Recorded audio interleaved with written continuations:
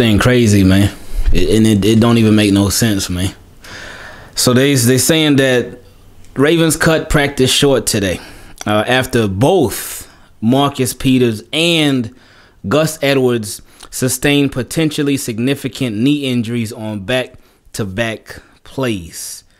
Uh, and they having tests done on both players, man. Oh, they, they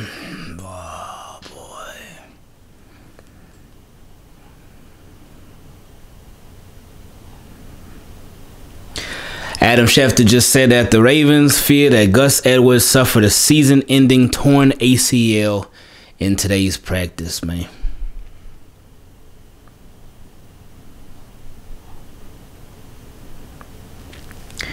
You know what was crazy if um that's just crazy, man. It's, it's crazy and, and you know I, I've I've seen some people put in the comments section, oh man, with, with some of the injuries that the Ravens have had, they're like, oh man, this feels like uh 2015 all over again. And I would tell them, no, man, no, it, this this not 2015, man, no. And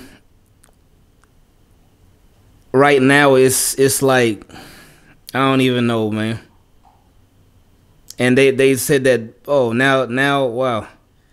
Now Ian is saying that the concern for both players, Marcus Peters and Gus Edwards, uh, is are torn ACLs for both of them just just talking about Marcus Peters today, especially after that presser, man.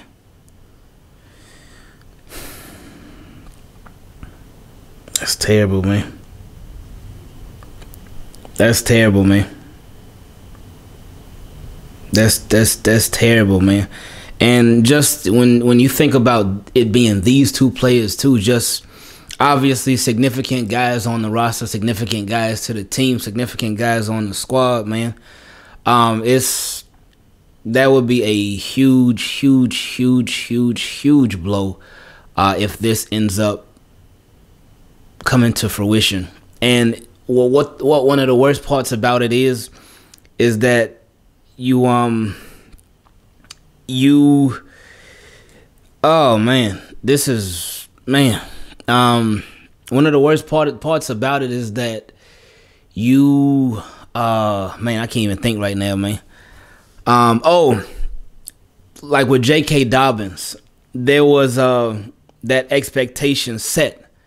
There was the expectation that was set where they were like, oh, they expected it to be significant. They expected it to be an ACL. They were hoping that it wasn't, but they were expecting it to be. So now with Gus Edwards and Marcus Peters, it's like now that that it's been announced since we went through the J.K. Dobbins thing already, we went through the Justice Hill thing already. Now that it's been announced that it's expected to be an ACL, then we expect it to be an ACL. We of course hope for the best, but we are already all collectively expecting the worst, man.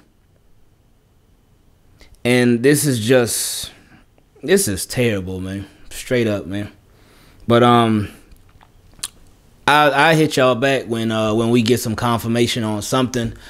Um man, that sucks, man. That that sucks. That sucks. That sucks. That sucks, man. Straight up, man. Mm, mm, mm. I appreciate y'all, man. I I I touch with y'all, touch bases with y'all in a little bit, man. We up.